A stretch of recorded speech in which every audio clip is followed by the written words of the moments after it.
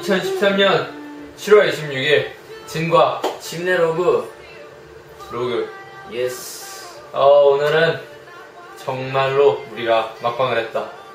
정말로 막방을 했죠. 정말 막방을 했다. 우리가 앞으로 이제 어, 앞으로는 아니지만 또 우리가 2 Cool 4 Skool 앨범으로 방송국에서 무대를 다시 설 일은 없겠죠. 이제 마지막 방송했으니 되게 어떤 거 같은 어떤 거 같은지 모르겠지만 일단 나는 이제 마지막 방송하고 나니까 이제 항상 하는 말이지만 되게 정말 정신없고 빠르게 지나간 것 같아서 되게 뭐라고 해야 되지? 아쉽다고 해야 되나?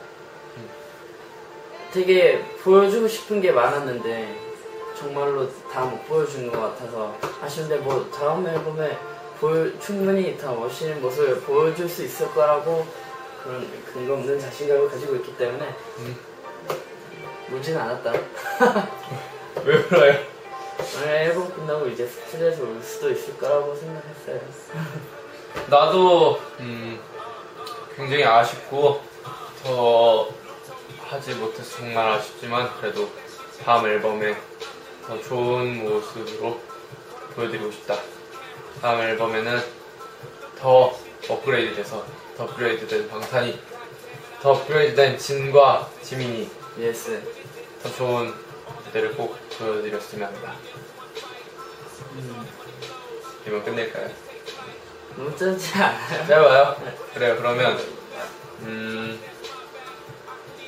마지막 방송도 했고 마지막 팬미팅도 했죠 이번에 앨범. 그렇죠. 이번에 오늘 팬미팅도 되게 아쉬웠던 것 같다. 왜? 어, 일단 저번보다 더 짧게 한 것도 있고 말을 별로 못한 것 같아서 되게 씁쓸했다.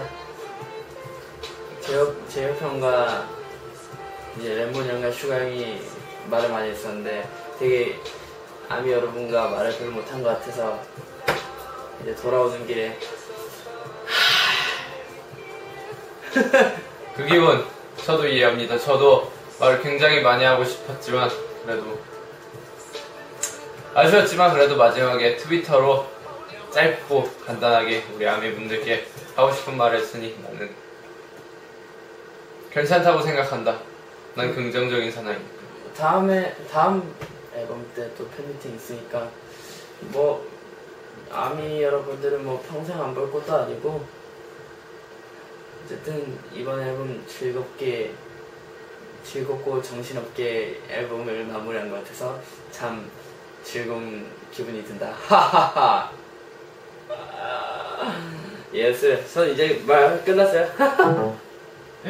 2013년 10월 26일 진과 지민이의 로그 끝! 끝.